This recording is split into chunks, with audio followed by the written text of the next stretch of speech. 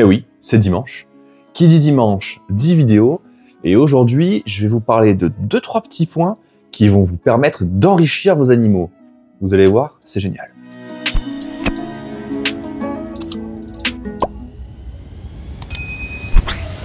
Bien. Avant de commencer, eh oui, c'est le week-end, c'est le matin, donc petit déjeuner. Je me permets quand même de vous rappeler deux trois petits trucs, notamment vis-à-vis du site Flore Aquatique.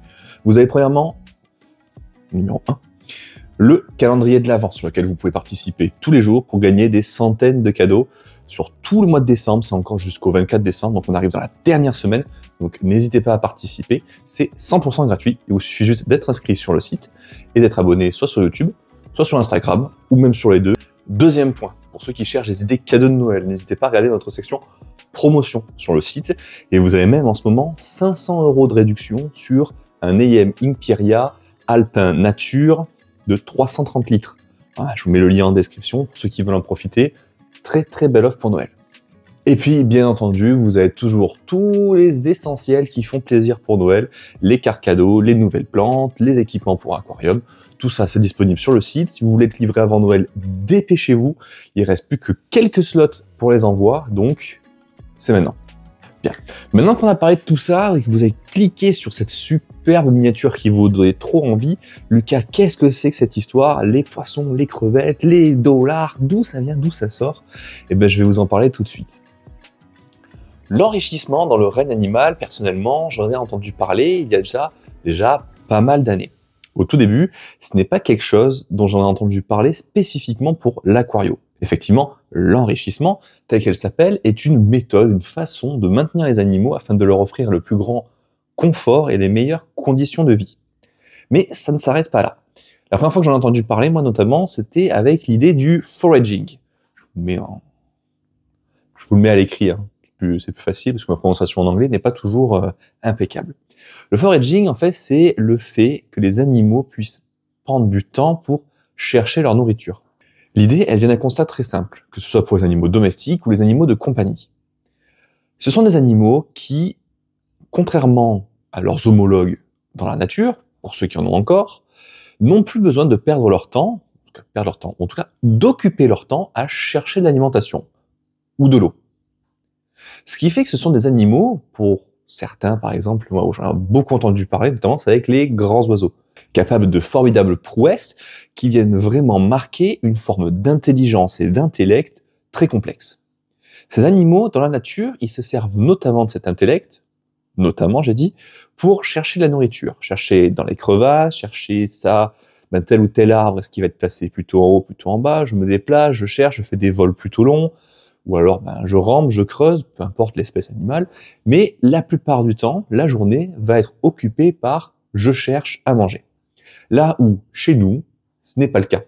Un poisson qui va être dans son aquarium, ou la crevette qui va être dans votre aquarium, parce qu'on essaie de reparler quand même plutôt de l'aquariophilie hein, sur cette chaîne, est un animal qui va finir par attendre l'alimentation. Elle va vite comprendre que son propriétaire se place devant l'aquarium, attrape le pot de nourriture et lui verse dedans. Et vous le voyez très bien, plus les espèces sont douées d'intelligence en aquario, plus elles vont vite comprendre que vous êtes face à l'aquarium, tout le monde vient se mettre devant, et on attend quand est-ce qu'on a à manger, quand est-ce qu'on a à manger. Cette chose-là va venir réduire le temps d'occupation de vos poissons dans l'aquarium. C'est pour ça qu'il est très intéressant, et on va voir maintenant quelques petites techniques pour les occuper le mieux possible. La première chose qui vient à l'esprit, ça va être l'organisation de l'aquarium. Effectivement, un aquarium bien organisé, donc pourvu de cachettes, de plantes, et de zone de nage, ça va être les essentiels de l'aquarium. Une zone de nage, c'est une zone plutôt adaptée aux poissons, dans laquelle on ne va rencontrer aucun obstacle en tant que tel. Ça peut être un couloir, ça peut être une zone plus large. On se sert généralement beaucoup de couloirs pour mettre un peu plus de courant, une pompe de brassage notamment, ce qui va permettre notamment aux espèces qui aiment beaucoup le courant d'aller se dépenser à l'intérieur.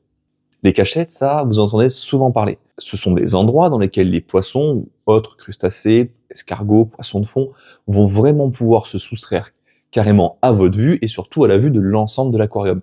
Ce sont des petites niches, des petits trous, des petits renfoncements sous les plantes, entre les cailloux, entre les racines, dans lesquels ils vont vraiment pouvoir faire leur vie et notamment parfois se reproduire. C'est quelque chose qui peut être assez contre-intuitif au départ.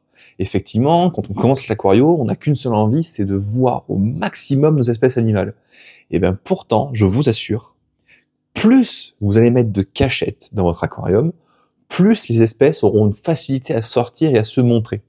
Effectivement, une fois qu'elles ont compris que ben, si je me déplace à tel côté de l'aquarium, et ben en deux secondes, je peux aller me cacher en cas de problème, et ben ok, donc ce côté de l'aquarium, je peux l'explorer sans risquer ma vie.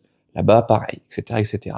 Donc vraiment ce côté plus de cachettes, ça va tendance à rassurer vos espèces animales, c'est une très bonne chose. Deuxième point important, et qu'on ne voit peut-être pas assez souvent, ce sont les plantes. Oui, mais les plantes, mais pas de n'importe quelle façon. Pour enrichir un environnement, il est important d'avoir des plantes qui vont avoir plusieurs critères. Des plantes qui vont rester assez proches du sol. Et oui, pour certaines petites espèces animales qui vont vouloir se mettre dessous, notamment vos crevettes, ça peut être très intéressant. Des plantes qui vont avoir vraiment une forme longiligne, par exemple les Valisneria. Ça, ça marche très bien pour que les poissons puissent se faufiler à l'intérieur. Un peu comme un slalomeur dans les épreuves de ski.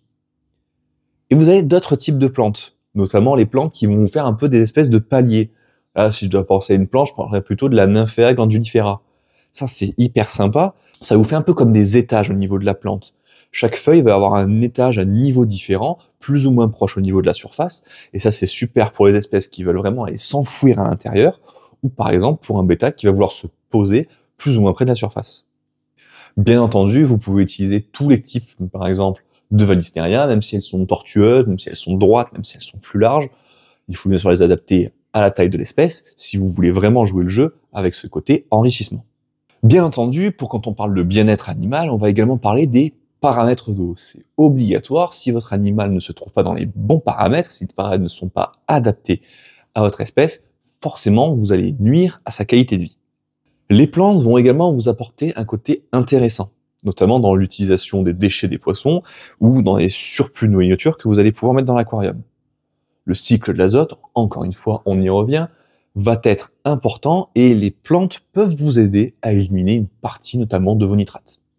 Tout à l'heure, on parlait justement de l'intérêt de complexifier, par exemple, les distributions de nourriture pour être sûr que nos animaux mettent un peu plus de temps, en tout cas, avant de s'alimenter. C'est le cas notamment, par exemple, sur euh, les chiens ou les chats, où on va avoir des gamelles dans lesquelles euh, la bouche ne va pas pouvoir aller directement. Donc, il va falloir un peu aller trifouiller à droite à gauche.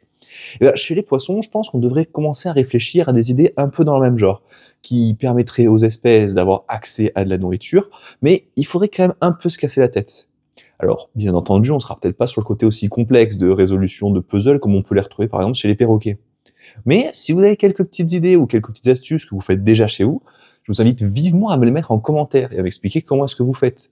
Est-ce que vous les entourez autour de quelque chose, vous les faites couler au fond et les poissons doivent essayer de se débrouiller pour aller les récupérer Est-ce que vous donnez par exemple des alimentations dans des tuyaux et puis il faut attendre que ça soit tout en bas, donc il faut que le poisson réfléchisse que ok la nourriture est donnée en haut, mais si je vais pas la chercher tout en bas, je l'aurai pas. Ce genre de choses là. Attention par contre aux complémentarités. Effectivement, si vous avez des espèces qui sont très vives tout cas qui vont faire preuve peut-être d'une intelligence supérieure par rapport à d'autres, de ne pas mettre ces espèces-là trop en avant au niveau de l'alimentation, parce que ce sont les seuls qui s'alimentent, forcément, ça sera au détriment d'espèces peut-être un peu plus lentes ou un peu moins intelligentes dans votre bac. L'alimentation est aussi un biais très important dans l'aquariophilie. Vous allez pouvoir varier l'alimentation, un peu comme on peut varier l'alimentation pour un enfant, pour un adulte, pour les humains, hein, on ne l'oublie pas. Mais quand je vois la complexité que c'est pour des parents de réfléchir à des repas complexes et équilibrés pour leurs enfants, je me dis bah, peut-être que finalement, nourrir de manière équilibrée des animaux, eh, il y a peut-être une vraie question à se poser. Donc, bon, on va toujours avoir le classique alimentation lyophilisée, alimentation congelée, alimentation vivante. L'avantage, notamment de l'alimentation vivante, c'est que ça bouge, c'est plein de nutriments, donc ça permet à la, fois aux poissons de se dépenser et de s'alimenter correctement. Mais est-ce que ça fait tout? Eh, C'est un peu compliqué. Le vivant, souvent, ben, si ça se résume à je donne que des artémias vivantes ou des nopli artémia, eh, ben, ok, c'est plus riche que certaines alimentations, mais par contre, attention, c'est comme nous. Euh, moi, si je mange que des carottes à longueur de journée, euh, au bout d'un moment, je vais avoir des carences autre part. L'alimentation surgelée, c'est pratique. Ça va vous permettre quand même d'avoir une alimentation qui va être variée sur les espèces que vous allez pouvoir donner. Par contre, attention, certaines espèces peuvent nécessitez par exemple de vermifuger certaines espèces, quand vous les donnez, par exemple les vers de vase, ils sont pas encore tous 100% impeccables, on va dire, ça vient de leur façon d'être produite, et vous allez pouvoir apporter une multitude d'espèces sans savoir à les cultiver chez vous, ce qui va vous réduire l'espace, le temps et finalement quand même un petit peu l'argent. Le plus facile est l'alimentation lyophilisée dans laquelle vous allez avoir des compositions qui vont être réfléchies. Et ça, c'est réfléchi par des nutritionnistes au sein des marques qui vous proposent ces alimentations. Alors, je ne sais pas si c'est exactement des nutritionnistes, mais en tout cas, vous allez avoir des apports qui vont être intéressants, notamment en termes de vitamines, qui vont pas être forcément retrouvés dans toutes les autres alimentations que je vous ai citées précédemment. Et bien entendu, comment est-ce qu'on pourrait ne pas parler justement des complémentarités entre les espèces, la compatibilité au final? Oui, le bien-être animal, il va quand même se passer par un aspect harmonieux dans votre bac. Si vous mettez des espèces qui matchent déjà bien au niveau des paramètres, c'est pas mal, c'est un bon début. on a l'avantage, depuis toutes ces années, les espèces qui sont de plus en plus élevées en termes d'élevage, reproduits dans nos aquariums et qui sont distribuées dans l'ensemble des territoires, sont des espèces qui sont habituées à des paramètres plus ou moins neutres de la chimie de l'eau. Ça, c'est un bon point. Par contre, certaines espèces ont besoin d'espace, ça c'est important de prendre en compte, mais également de compatibilité entre elles. Si vous mettez des espèces qui sont trop vives avec des espèces qui n'aiment pas ça, vous allez stresser certains poissons pour rien. De même, si vous mettez des, poissons énormes dans vos bacs avec des toutes petites crevettes, eh, eh ben, il va y avoir un souci. Si les crevettes elles sont obligées de rester cachées pour vivre, c'est pas très intéressant au niveau de leur bien-être. Enfin voilà, c'est toutes ces petites subtilités qui vont faire que l'harmonie de votre bac va être bon et qui vont apporter un bien-être à vos animaux et surtout l'enrichissement de ceci, une fois que tout le monde va bien, que tout le monde se retrouve dans des conditions idéales, des petites touches d'apport, que ce soit au niveau de la décoration, au niveau des plantes, au niveau des compatibilités, sont très importantes à prendre en compte. J'espère aujourd'hui, pas forcément que vous aurez appris beaucoup de choses, parce que je pense que ce sont des choses qui sont classiques, reconnues dans le monde de l'aquariophilie. Par contre, que cette vidéo vous aura fait un peu réfléchir ah, bah, quel est l'intérêt? Et si je porte suffisamment d'intérêt à mes espèces animales pour en prendre soin à 100%. Voilà, moi je vous souhaite une bonne fin de dimanche et je pense qu'on se retrouve la semaine prochaine. Bonne semaine à vous et à bientôt. Ciao